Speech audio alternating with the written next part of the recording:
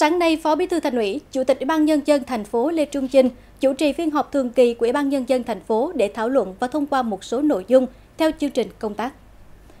Tại phiên họp, các sở ngành liên quan đã báo cáo đề xuất các nội dung theo thẩm quyền. Trên cơ sở đó, các ủy viên Ủy ban nhân dân thành phố đã thảo luận thông qua một số nội dung phục vụ hoạt động chỉ đạo điều hành, bao gồm các vấn đề về xây dựng nghị quyết quy định mức thu lệ phí khi thực hiện các thủ tục hành chính thông qua dịch vụ công trực tuyến, về việc sửa đổi bổ sung một số điều của quy định về giao nhiệm vụ đặt hàng hoặc đấu thầu cung cấp sản phẩm dịch vụ công sử dụng ngân sách nhà nước từ nguồn kinh phí chi thường xuyên. Về việc điều chỉnh bổ sung dự toán ngân sách 6 tháng đầu năm 2023 cho các cơ quan, đơn vị địa phương về việc đấu giá đất tại một số quận huyện trên địa bàn thành phố, về việc giao kế hoạch đầu tư vốn ngân sách trung ương của chương trình phục hồi và phát triển kinh tế xã hội, giao điều chỉnh kế hoạch đầu tư công trung hạn vốn ngân sách trung ương giai đoạn 2021-2025.